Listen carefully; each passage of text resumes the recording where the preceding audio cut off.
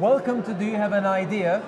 Your entrepreneurship content channel for the last 12 years. We've been creating loads of content from all over the world. And today we're in Turkey, Istanbul at Uzakrota Travel Summit, one of the largest travel organizations around the region. And today with me, all the way from South Africa, we have Brett Dyason from Hepstar. Well, if you don't know what Hepstar is, you damn know what uh, insurance is, Yeah. and it's the global, one of the world's largest global insurance tech company, and he is our founder. And it's really interesting. I mean, thank you for being with us at Do You Have an Idea? It's really interesting to show entrepreneurs different verticals and how can you be successful in different verticals because Yeah. they always look at the big picture. Yeah. But look, I mean, you're here, a big, important company, million dollar plus annual revenues, all the way from South Africa, and you founded it. Can you tell us a little bit more about how you founded Hepstar? Um, so, well, first of all, thank you uh, for having me.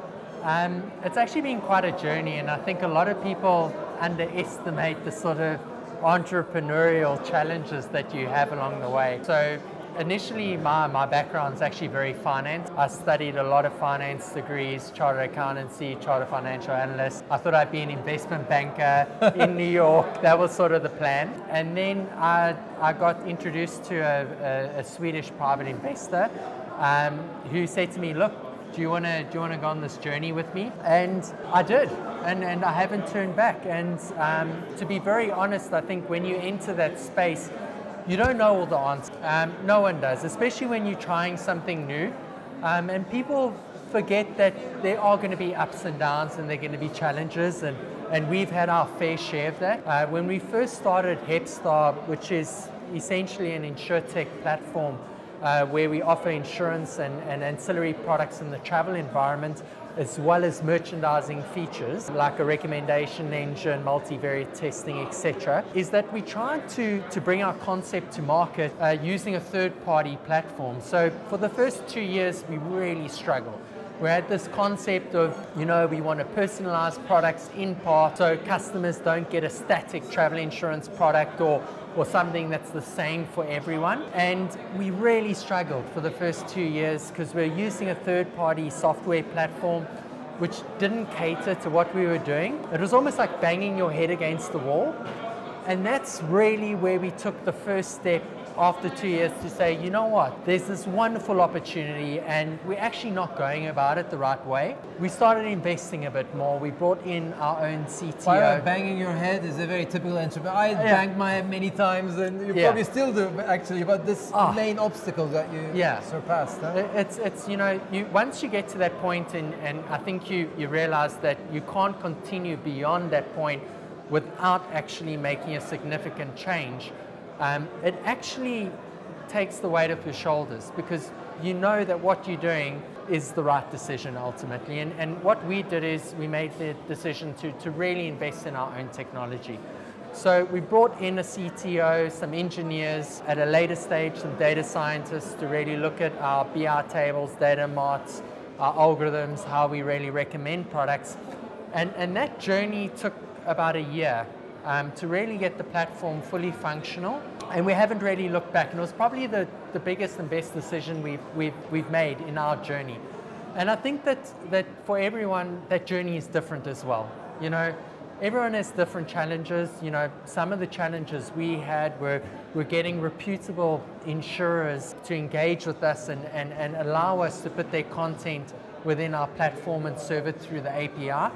Um, so companies like AXA or Chubb or Ergo, um, Orient in, in, in the Turkish market, for instance.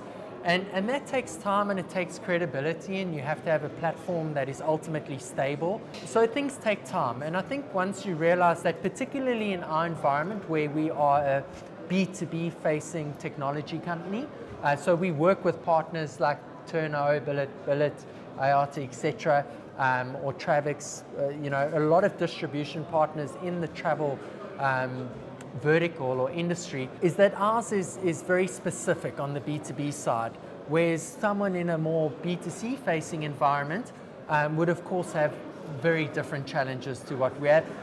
Predominantly on the cost acquisition side when you're looking at, at customers and, and how you fight, you know, Yeah. the bigger metas and, and the marketing costs, etc. So yeah. You're right, but it's really important. I really wanted to have this chat with you since I found you because entrepreneurs always look big, global. I want to be like Booking.com, but, but there are so many verticals that you could be successful. And uh, as an entrepreneur who's been all these all through this road and banging your head, what are the sort of takeaway messages you, you would like to give to entrepreneurs who are like at the beginning of that stage, ideas, ideation stage, let's say? I think that's I think they're a couple. I think first of all, you know, not everyone can be a Facebook, a Google, a booking.com. I think that time has, has come and gone, but there are niches within verticals, like you said, or industries where there are fantastic opportunities. And in saying that, maybe you are the next Google, you know, maybe you're the next Amazon, Facebook, who knows? You know, at the end of the day, if you've got an idea um, and you back yourself, then, then give it everything. But some of the, the things that I would say just be careful of. Number one, people, be careful of who you bring on board. So in a startup environment, you need people that are engaged, that love your concept, that want to be part of your journey. Um, and some of the, the, the lessons we've learned is that when you sometimes make those bad hires, in our environment, it's a lot more difficult to come back from that effectively. So when bringing on people, rather wait for the right person than bring someone on that you think's going to fill the gap. That for me, I think if I could go back, I would have made maybe one or two different decisions. That's important, Um, because not only is it from a, a work perspective and a passion perspective, it's how those people affect your environment that you build out for your team. Um, the second is, and, and we've been, I think, very fortunate with, with the investors that we've got. Um, you know, we've been given a mandate to do what we need to do. And I think that, that when it comes to investors, just remember it's a marriage. You know, as soon as you get funding or, or money from someone, that relationship changes and you're in a marriage. And bring on people that, that you know you can trust, that, that are really invested in what you want to do and, Perfect, and have a passion also for, for what you're trying to achieve. Because if that investor or that external party doesn't, along the line you're going to have problems. And I've seen it with, with friends of mine um, that, have, that have started companies. Particularly, I, I spent about three or four months in, in Sunnyvale, uh, the Silicon Valley in, in 2017. Is that that can become very problematic. You know, you need someone that trusts you, that will back you, because they're going to be good times and they're going to be bad times. And when you're still working out things and you haven't got quite right the product market fit, and I hate that word, product market fit, you need someone there that's going to back you and help you along the way. And also challenge you. Are you doing the right thing? So, other than the funding part and making sure it's the, the right type of fit for you, also make sure whoever comes on board can advise you, can help you. Because at the end of the day, it's not just about funding, it's also about what they understand, what their experience has been, and where they can help you. And finally, since you found all the way from South Africa, you came to Turkey. Most entrepreneurs in these far out regions of the world, Asia, Middle East, Australia, they feel like they're stuck in that sort of ecosystem. And you always look up to these Silicon Valley boys and entrepreneurs and all this, this world, and it seems as if that's the first goal. But now you're here, all the way from South Africa, successful global company. What are the sort of tricks of that, and what, how, what would you advise those entrepreneurs? Because it's really depressing. Like you're in, you're in a country, you want your voice to be heard. You always see these top guys, millionaires, billionaires from Silicon Valley. You want, you feel like, oh, uh, am I left out? Should I move out there? But you're from South Africa, and you, you, you did it. I think it's I think it's perspective. I think you always need to have perspective, and I get that from from reading books. A really good book to read is, is Trillion Dollar Coach. You know, and it's and it's not comparing yourself to, to someone that's in Silicon Valley or London or Amsterdam or Istanbul. Um, it's not really about that, and I think you need to get past that because it's about what you're doing right now and focusing on that and making sure that whatever product you're bringing to market, that it's the best product that you can bring to market.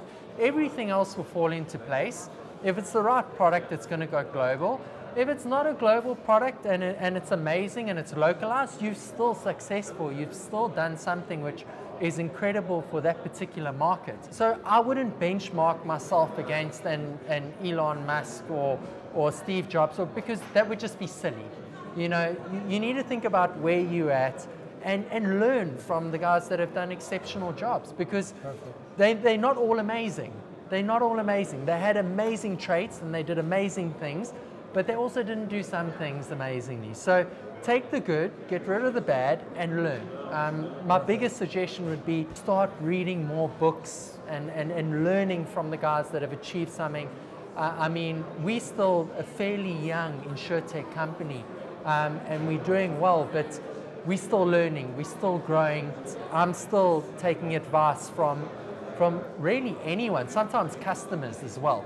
Because you, you need to be in that, that, that, that, that mind frame that, that you don't know everything, because you don't know everything. I think that was a great way, I mean, great uh, thing to close the video.